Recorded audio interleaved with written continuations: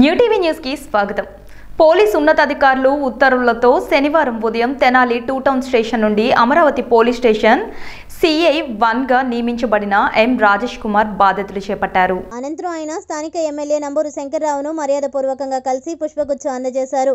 అలాగే స్థానిక సిఐ సుబ్బారావు ఎస్ఐలు సౌందరరాజన్ అశోక్ కోటేశ్వరరావు కొత్తగా వచ్చిన సీఐకు పుష్పగుచ్చం అందజేసి శుభాకాంక్షలు తెలిపారు. ఈ సందర్భంగా సీఐ రాజేష్ కుమార్ మీడియాతో మాట్లాడుతూ అమరావతి మండలంలో శాంతి భద్రతల విషయంలో కఠినంగా వ్యవహరిస్తామని తెలిపారు.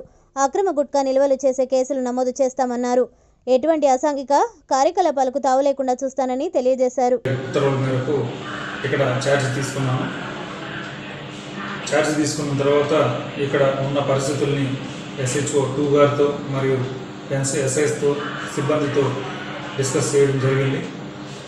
మా ఎస్పీ గారి ఉత్తర్వుల మేరకు ఎవరైతే ఇల్లీగల్ సేల్ ఆఫ్ గుట్కాస్ కానీ లేదంటే బ్యాండ్ సబ్స్టెన్సెస్ ఏవైతే అక్రమంగా నిలువ చేయడం కానీ లేదంటే వాటి అమ్మకాలు చేస్తున్నారో వాళ్ళందరి మీద కూడా చట్టపరంగా లీగల్గా వాళ్ళ మీద కేసులు బుక్ చేయడం జరుగుతుంది సో ఈ సందర్భంగా నేను ప్రతి ఒక్కరికి ఇల్లీగల్ సేల్ ఆఫ్ గుట్కాస్ కావచ్చు లేదంటే ఎక్కడైనా గోడౌన్స్లో స్టోరేజ్ ఆఫ్ గుట్కాస్ కానీ ఏదైనా ఉన్నా మాకు సమాచారం ఇచ్చినా లేకంటే డైలాండెడ్కి సమాచారం ఇచ్చినా కూడా ఇమీడియట్గా దాని మీద స్పందించి వాళ్ళ మీద చట్టపరమైన చర్యలు కూడా తీసుకుంటామని చెప్పేసి ఈ సందర్భంగా తెలియజేసుకుంటున్నాం.